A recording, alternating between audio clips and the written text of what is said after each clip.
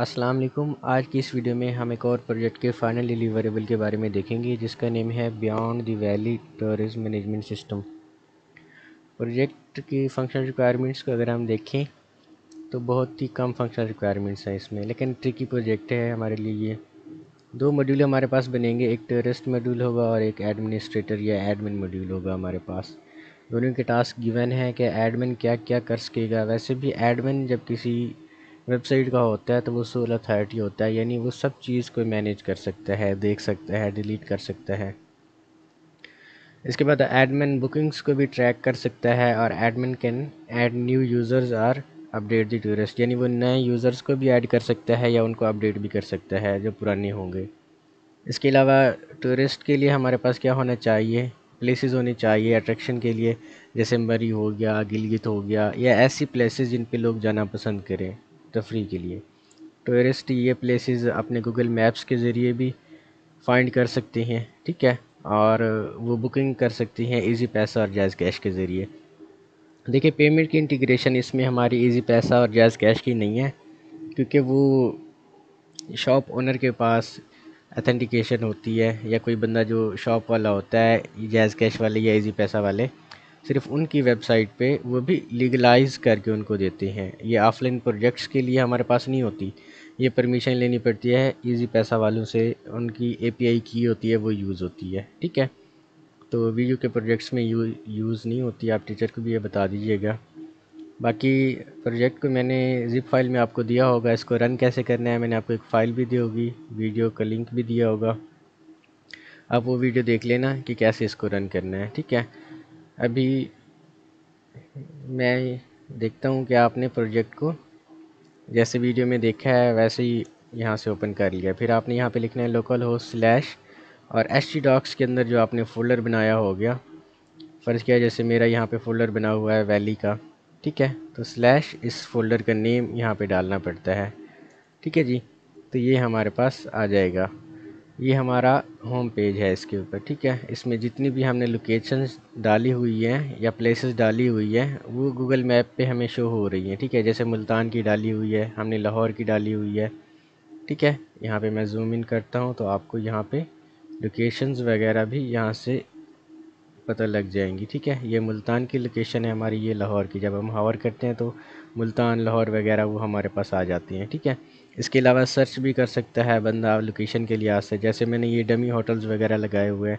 फ़र्ज़ करें कि मैं सिटी के लिहाज से, जैसे यहाँ पे हमें पता चल गया है कि हमारे पास कौन सी प्लेस है तो उस प्लेस को बाय नेम हम सर्च करेंगे यहाँ पे। जैसे कि लाहौर है, ठीक है, या यहाँ पे मैं मुल्तान सर्च करता हूँ।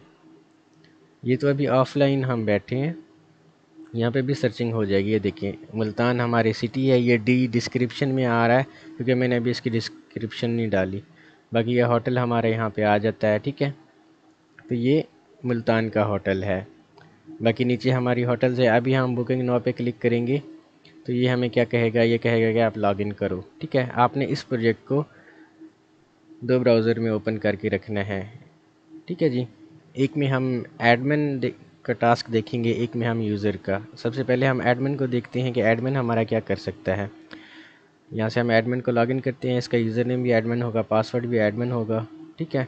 ये एडमिन का डैशबोर्ड है जिसमें एडमिन टोटल यूज़र्स को भी देख सकता है टोटल प्लेसेस को देख सकता है जो उसने ऐड किए हैं टोटल होटल्स जो उसने प्लेसेस के अंदर, क्योंकि यहाँ पे लिखा हुआ है कि टूरिस्ट मैनेजमेंट के अंदर क्या क्या चीज़ें हमारे पास आ जाती हैं, ठीक है?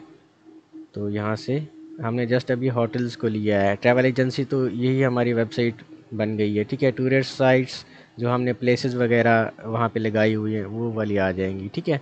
और भी हम डेटा ऐड कर सकते थे, लेकिन हमारे पास इतना टाइम नहीं था कि हम डेटे को ऐड करें।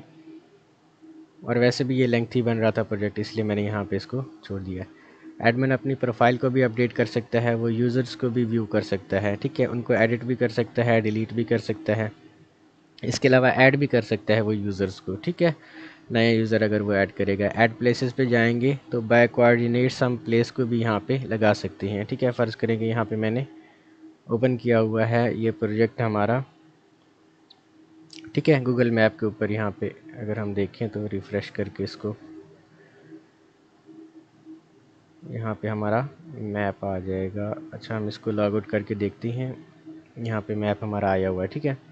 ये लोड होने में थोड़ा टाइम लेता है ना?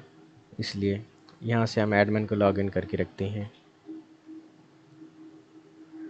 ठीक है, हम ऐड प्लेस पे क्लिक करते हैं। यहाँ पे प्लेस का नेम हम कोई भी डाल देते हैं। फ़र्ज़ करें कि मैं यहाँ से मरी की लोकेशन ले लेता हूँ। ठीक है? मरी यहाँ पे हमने कोऑर्डिनेट्स लेने हैं इनके। ठीक है? तो यहाँ पे टूरिस्ट प्लेस हम डालते हैं मरी डिस्क्रिप्शन हम डालते हैं this is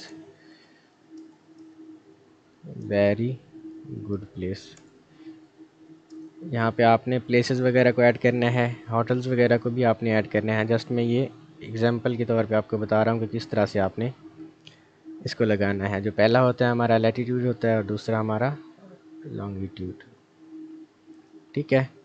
इनको आप ऐड करेंगे यहाँ पे।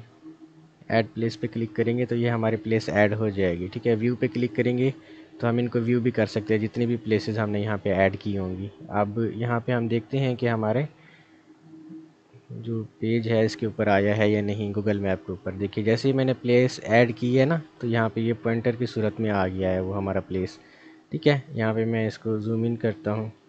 तो ये इस्लामाबाद इस्लामाबाद के साथ वो मरी आता है ना, ठीक है? तो एग्जैक्ट जो गूगल ने हमें दिए हुए हैं, ठीक है मरी की प्लेस हमारी यहाँ पे आ गई है। ठीक है जी? तो इस तरह से हमारी ये आ जाएगी। अगर यहाँ पे प्लेसेस में हम मरी सर्च करते हैं तो यहाँ पे भी हमारा मरी आ जाएगा, ठीक है? ये उसकी डिस्क्रिप्शन है। अभी क्योंकि होटल्स नहीं है, इसलिए ये ऐसा लग रहा है। लेकिन जब हम इसमें होटल ऐड करेंगे तो ये सही लगेगा।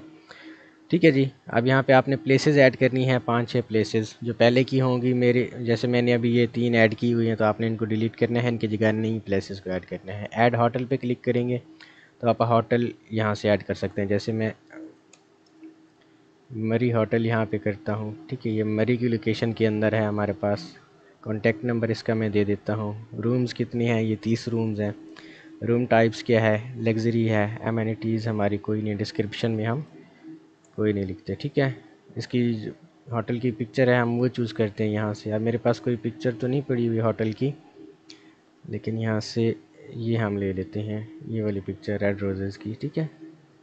प्राइस इसकी क्या होगी? यानी वन नाइट की हम थ्री थाउज़ेंड लिख लेते हैं। ऐड पे क्लिक करते हैं तो ये हमारी ऐड हो जाएगी, ठीक है? जब हम व्यू पे क्लिक करते हैं तो हम व्यू भी कर सकते हैं अपनी एडिड होटल्स को। इसी तरह हम इनको एडिट भी कर सकते हैं डिलीट भी कर सकते हैं। अगर यहाँ पे हम रिफ़्रेश करते हैं अपने पेज को तो यहाँ पे भी हमारी ये होटल आ गई है, ठीक है? मरी के अंदर। अगर हम सर्च भी करेंगे, मरी के अंदर की होटल को तो यहाँ पे ये सर्चिंग में भी आ जाएगा हमारे पास, ठीक है? तो ये देखें अभी है खूबसूरत लग रहा है यहाँ से, क्योंकि डेटे से ही आपका प्रोजेक्ट बनता है, बगैर डेटा के आपका प्रोजेक्ट नहीं बनता।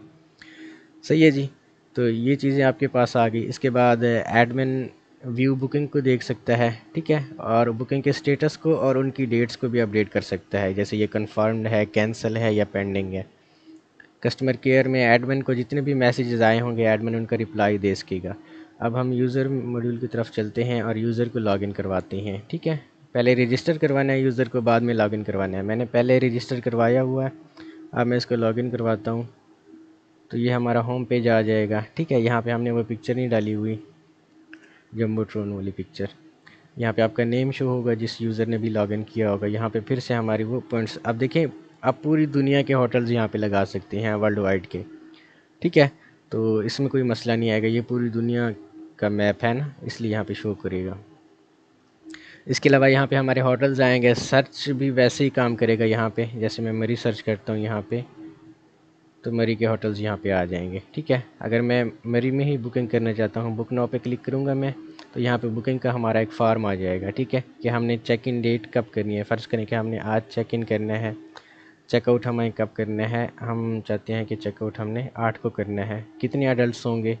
दो अडल्ट होंगे हमारे पास, दो चिल्ड्रन होंगे, दो रूम्स होंगे हमारे पास पेमेंट ये देखिए इजी पैसा और जैज़ कैश लिखा तो हुआ है, लेकिन इंटीग्रेशन नहीं है अभी इसकी। तो हम इजी पैसा कर लेते हैं। सबमिट पे क्लिक करते हैं तो यहाँ पे मैसेज आ जाता है हमारे पास कि बुकिंग आपकी सबमिट हो गई है, लेकिन ये पेंडिंग में है इसका स्टेटस जब आप ये माई बुकिंग पे जाएँगे ना तो ये देखें, अभी क्योंकि स्टेटस पेंडिंग में है, इसलिए यहाँ पे अपडेट का बटन नहीं आया। अपडेट का बटन कब आएगा? जहाँ, जब यहाँ पे एडमिन आपका बुकिंग का स्टेटस अपडेट करेगा, ठीक है? ये यूज़र साइड है हमारी। और यहाँ पे ये हमारी एडमिन साइड है। अभी वाली बुकिंग अगर देखें तो ये हमारी बुकिंग है, ठीक है? और यहाँ पे आपने अपडेट पे क्लिक करना है। तो एडमिन इनके स्टेटस को भी अपडेट कर सकता है और इनकी डेट्स वगैरह को भी अपडेट कर सकता है, ठीक है? फ़र्ज़ करें हम जस्ट स्टेटस को ऐड करते हैं कंफर्म करते हैं जब इसको अपडेट पे क्लिक करते हैं, ठीक है? तो यहाँ से एक बार कंफर्म हो जाए।